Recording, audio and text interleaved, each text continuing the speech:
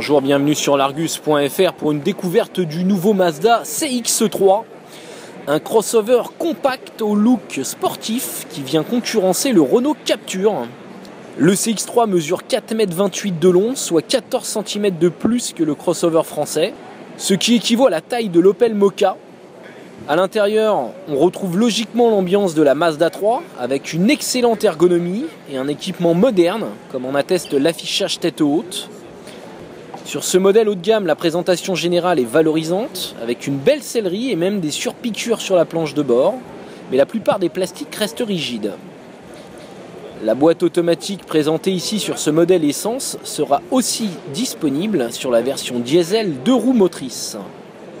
À l'arrière, la garde au toit est correcte, mais l'espace aux jambes n'est pas immense au regard du gabarit. Le coffre n'est pas très grand non plus, et contrairement aux autres Mazda, il ne propose pas de manette de rabattage rapide de la banquette.